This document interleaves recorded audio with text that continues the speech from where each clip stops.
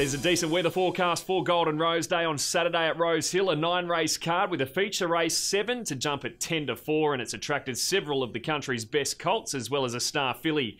Newcastle Colt Graff was brilliant first up, then lost no admirers when a game second in the run to the Rose, went wide for most of the trip. Graff to the outside, then came Lean Mean Machine at a barging match looking to get into the clear. Jonker's got a good lead at the 250 from Sam Barr and Graff is starting to knuckle down to his work. Jonker length and a half clear. Graff's three wide the trip, but the colt is digging in. Jonker in front from Graff. Lean Mean Machine coming with a big run late.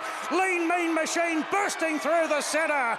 Big win in the run to the Rose. Lean Mean Machine beat the favourite Graff. Draws much better now and should be back on a good surface come race time.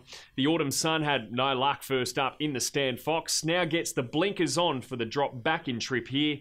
Lean Mean Machine loved the wet track when beating Graff. He's unlikely to get that here, but he's clearly come back well. The third of the Chris Waller trained Colts is Zousain. Now, he wasn't at all comfortable on that shifty surface in the same race, and he's capable of improving. Whilst the only filly in the race is Group 1 winner Seabrook, whose class is undeniable. Our tab hot horse this week is in race three, the Gloaming Stakes over 1800 metres. Only a small field, but punters are keen on the inform Tarka trained by David Payne. James McDonald rides from the inside gate. The all too hard colt is trying to make it four straight wins with the spring champion and possibly Victoria Derby on the horizon. So that's race three, number one. The first four pool in the Golden Rose is expected to reach around $750,000 for New South Wales tab customers, and you can see all the markets plus watch all of the Rosehill action live at tab.com.au or the tab app on your mobile.